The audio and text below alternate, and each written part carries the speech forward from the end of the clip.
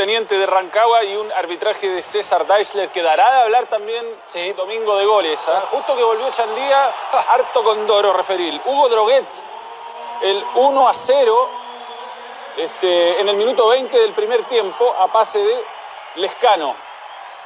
Gastón Lescano que ha hecho un muy buen campeonato. En realidad a remate, ¿no? A remate más que pase. Aquí está, mira. Yo no, no entiendo cómo no cobra falta Deichler. Es de Alejandro Delfino sobre Gastón Lescano y la deja seguir nomás Deichler. Es muy Mira, evidente. ahí lo agarra. Arriba. Y después, mira, el brazo, el brazo, mira, mira.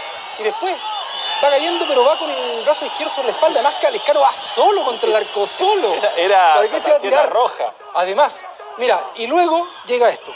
El empate de Cristian Ivanovski.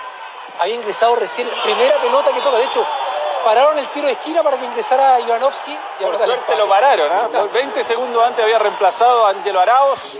Con esto Higgins se despide definitivamente ¿no? de la pelea. Queda con 20 puntos a 7 de Colo Colo, con 2 en disputa. Uno se imagina que ya lo de Higgins es pensar en la.